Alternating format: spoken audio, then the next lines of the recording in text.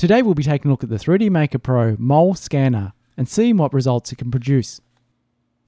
The Mole 3D Scanner's technology enables objects to be captured with a 0.05mm accuracy and a 0.1mm resolution. With its excellent tracking, there's no need for markers, and it has a single capture range of 200 by 100mm and a scanning speed of up to 10 frames a second. It can quickly scan medium sized objects from 15 to 1500 millimeters. All this can be exported as an OBJ, STL, or PLY 3D file format. Equipped with optical anti shake modules, the Mole ensures smooth and stable scanning. The Mole's compact and ergonomic design makes scanning effortlessly, whether it's in handheld or turntable mode. The scanner kit comes neatly packaged in a semi rigid carry case, which is perfect for storage and transport.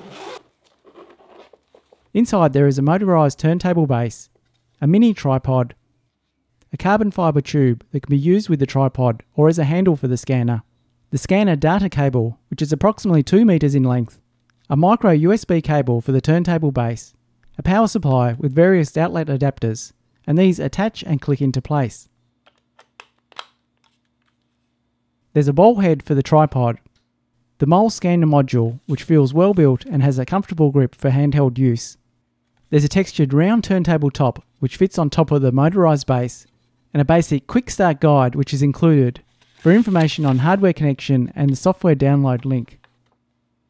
To set up the scanner, the mini tripod is screwed into the carbon fibre handle, and then the ball head is attached. The scanner has a soft touch black surface which makes it ideal for handheld use. On the bottom of the scanner, there is a thread where the tripod is connected for the tabletop scanning.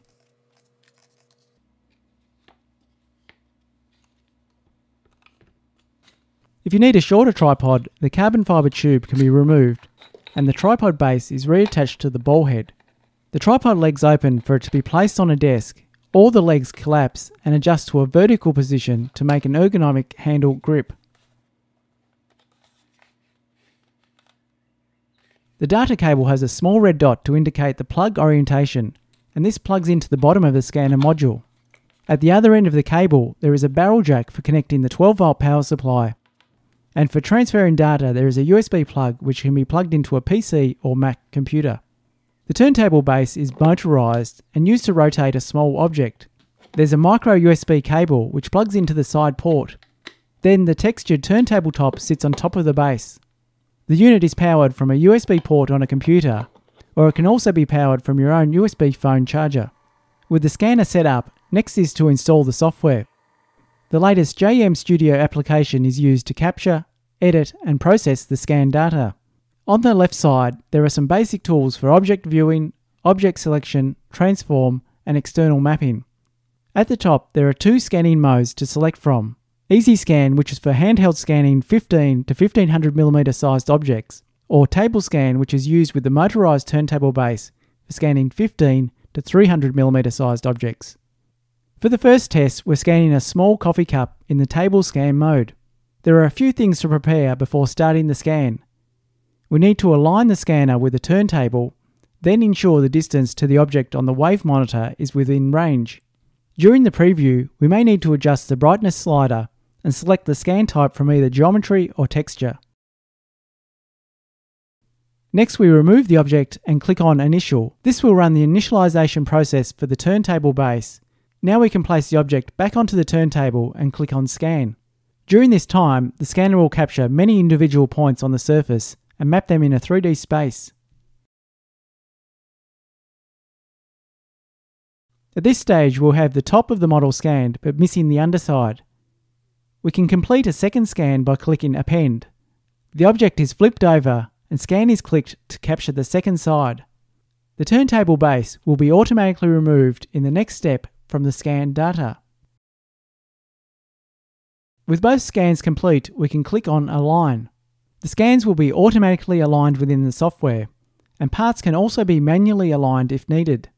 Once Aligned is clicked, we have a successfully aligned part. The last step is to process the scan data points into a mesh. We just need two of the scan files selected and click on Apply. From here, we can clean up any noise particles, repair or simplify the model. This model can now be saved as an OBJ, PLY, or STL file. Then it is ready to slice and 3D print or use in a CAD software to modify the mesh or create parametric models. The next scan is of a water connection tube. This is a combination of using the scanner in easy scan mode with the tripod and manually turning the turntable base, then using the scanner in handheld mode to capture more details of the inside of the tube.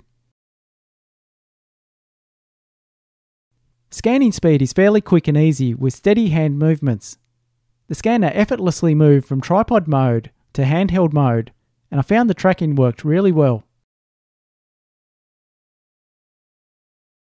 With the scan complete, the turntable base plate is selected and removed. From here, we can click on Process to turn the model into a mesh. There are a few areas around the model that need to be cleaned up and these can be improved by taking more time in the previous steps.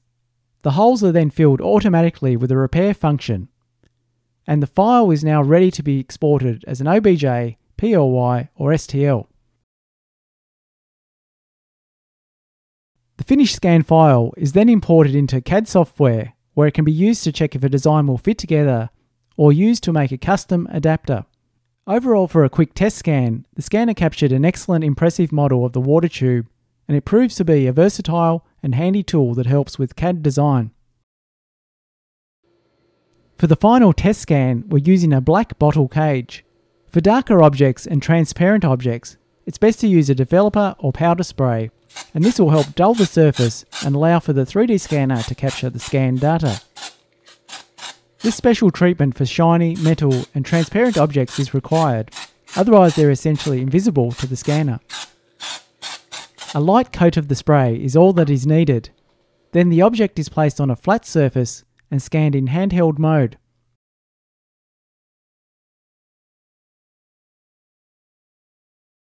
A total of two scans are completed of the top side and of the underside of the bottle cage to capture all angles. The scans are quickly cleaned up in the software and automatically aligned, then processed into a mesh. There is some noise and artifacts in the model, and with more preparation and cleanup, these can be improved. The actual model itself is accurate and usable, and the model is exported as an OBJ, then imported into CAD software where it can be used in a custom design. Once finished, the spray can be easily wiped off the original item. Preparation is key to good scans, so it's recommended to use a developer or powder spray for improved scan quality. The Mole 3D scanner and software can produce functional scans of parts where you're looking to reverse engineer an item or to design and customize a part. Overall, it's an easy to use device that is extremely capable of producing useful and good quality 3D scans.